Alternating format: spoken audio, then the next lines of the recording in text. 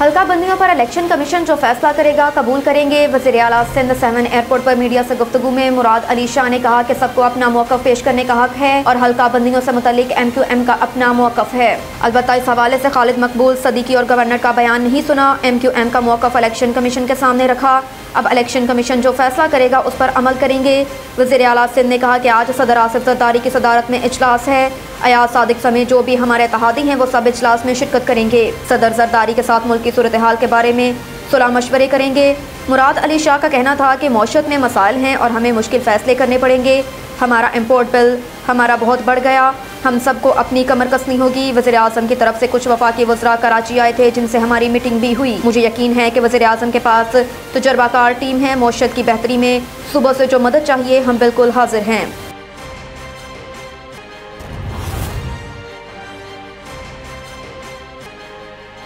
Peoples party को हल्का बंदियों पर फैसला करना पड़ेगा, ये उनका वादा था। लाहौर में मीडिया से गुफ्तु करते हुए गवर्नर सिंध कामरान टस्करी ने कहा कि लापता अफराद हमारी पार्टी का बहुत बड़ा मुतालबा है। पिछली हुकूमत के साथ भी इसी मामले पर अलहाक किया था और मौजूदा हुकूमत से भी यही उम्मीद है कि लापता अफराद पर हमें ना उम्मीद नहीं करेगी।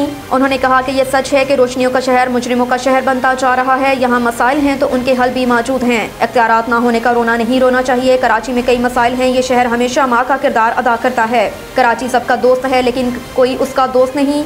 ये शहर टूट रहा है, उसका तलीमी निज़ाम, सेवरेज गैस और पानी नहीं। तमाम अरबाब इख्तियार को कहता हूँ कि ये गौर फ़िक्र का वक्त है, सियासत का वक्त नहीं। अगर मुआशी हक को गोद ना लिया और बड़े फैसले ना किए तो मुआशी अदम एहतकाम की ज़िम्मेदारी उन्हीं पर होगी जो साहब इख्तियार हैं।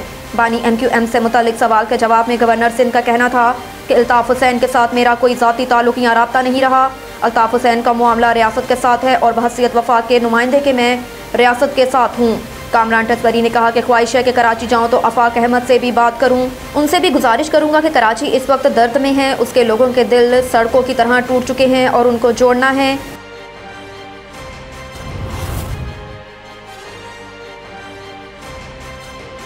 कौमी सलामती कमेटी का अजलास वजे अजम के पी को शिरकत की दावत न देने पर फवाद हुकूमत पर बरहम। फवाद चौधरी ने अपने एक बयान में कहा कि हुकूमत ने वजे अला खैबर पख्तूनख्वा को कौमी सलामती कमेटी के अजलास में शिरकत की दावत नहीं दी। अब कौन इस गैर संजीदा हुकूमत के साथ बैठेगा? उन्होंने कहा कि तालिबान लीडरशिप सिर्फ़ इमरान खान की इज़्ज़त करती है। उनका मजीद कहना था कि इलेक्शन सिर्फ़ हमारा मसला नहीं, पाकिस्तान का है। मोशत की बेहतरी और दहशत गर्दी के खात्मे पर इतफाक राय ज़रूरी है। फवाद चौधरी का कहना था कि एम क्यू एम के धड़ों के आपस में मिलने से पी टी आई को कोई नुकसान नहीं नहीं होगा। लगता है एम क्यू एम की लीडरशिप नर्सरी के बच्चों ने संभाली हुई है। कराची के लोगों को पता है ये सब लोग क्यों इकट्ठे हुए। वाजिया रहे कि वजी अजम शहबाज शरीफ की जेर सदारत कौमी सलामती कमेटी का अजलास आज दोबारा होगा।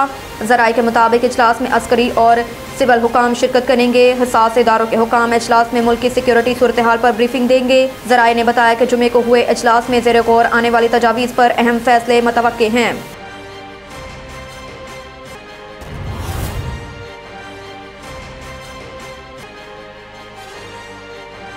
राना सना के तालिबान के ठिकानों को निशाना बनाने के बयान पर अफ़गानिस्तान का रद्द अमल आ गया। वज़ीर दाखिला राना सनाला के अफ़गानिस्तान में कल अदम तहरीक तालिबान के ठिकानों को निशाना बनाने के बयान पर अफगान हुकूमत का रद्द अमल सामने आया। जबीउल्ला मुजाहिद का कहना है कि किसी को भी अफ़गानिस्तान में हमला करने की इजाज़त नहीं देंगे। अफ़गानिस्तान, पाकिस्तान से अच्छे ताल्लुक का ख्वाह है। पाकिस्तानी हुकाम को बात करते हुए मोहतात रहना चाहिए। अमारात इस्लामिया के तर्जुमान जबीउल्ला मुजाहिद का कहना था, किसी मुल्क को दूसरे मुल्क के इलाके में हमला करने का हक नहीं है।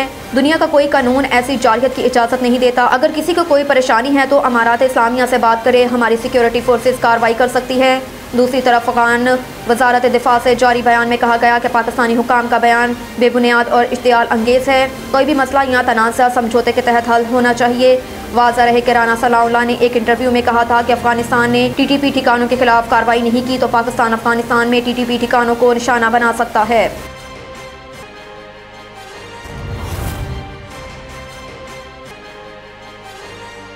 अस्टैब्लिशमेंट में अभी जनरल रिटायर्ड बाजवा का सेटअप काम कर रहा है। लाहौर में सहाफ़ियों से गुफ्तु में इमरान खान का कहना था कि डोनाल्ड को पाकिस्तान से सबक पढ़ाया गया। अमेरिका में ट्रंप हुकूमत ने तारीखी इस्तबाल किया।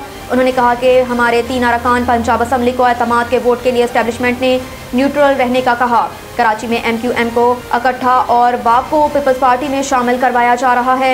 सबक army chief general retired Qamar Javed Bajwa से मुतलिक इमरान खान ने कहा कि बाजवा एहतसाब नहीं करना चाहते, इसलिए ताल्लुक खराब हुए। अमरीका में हुसैन हकानी को बाजवा ने लॉबिंग के लिए हायर किया। हुसैन हकानी मेरे खिलाफ कंपेन और जनरल रिटायर्ड बाजवा की तशहर करते रहे।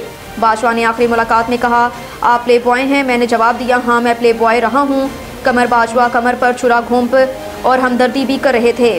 उनका मजीद कहना था कि इस्टेब्लिशमेंट में इस ताहाल जनरल रिटायर्ड बाजवा का सेटअप काम कर रहा है। हुकूमत में इस्टेब्लिशमेंट का नाम एक आदमी है।